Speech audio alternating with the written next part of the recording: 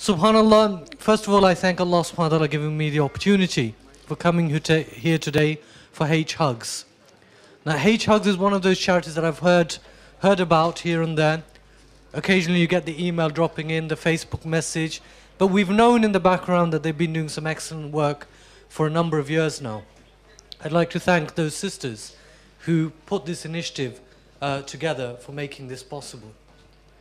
Now, one of the first things I did when I got here is I actually looked at their annual report, and I just want to point out a few amazing things in their annual report. I'm sure some of you have probably seen their, uh, their financial report.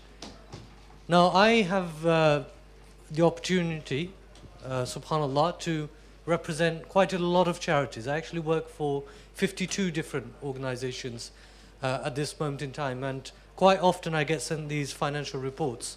Alhamdulillah, all of them are good, but today's one is quite startling. Let me just highlight one particular thing in this uh, report, that last year, the total that this charity managed to raise was 49,000 pounds. Alhamdulillah, lovely amount.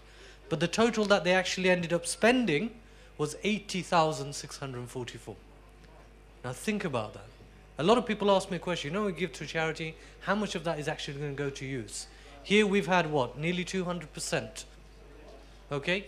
49,000 pounds was raised, 80,000 pounds had to be spent in order to keep going. The second thing I found out on arriving here, I spoke to one of the brothers from HHUGS, very humble, mashallah, and he said, you know, we can't keep going like this because we're, we're eating into reserve funds that we'd put aside. And sooner or later, we're going to stop operating if it carries on like this. How sad would that be for the Ummah to have one of the most unique organizations, one of the most unique charity organizations in Britain today, having to close down simply because there's no funding. And that's an absolute reality. This charity is operating largely through the benefits of volunteers. Majority of the people that are putting in their time, driving their car and going here and there and making phone calls, they're, they're volunteers. If you think about it, an organization of this nature, which is delivering one of the most powerful needs in the community, is probably paying its part-time staff £50 a week. That's the reality. Some of us here earn £50 a day, some earn £50 an hour. Some of us maybe even £50 a minute. Let me know what you do. But the reality is, we've got to keep this going. And today, I've come here with a bit of a challenge that this year, inshallah, 2010, 2011, we're not going to go into deficit.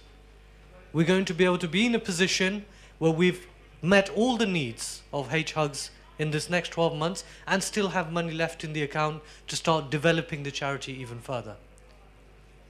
Now I know, as the brother said, there are certain charities that can go on television or go off to the Middle East and raise a million pounds and khalas, their job is done for the year.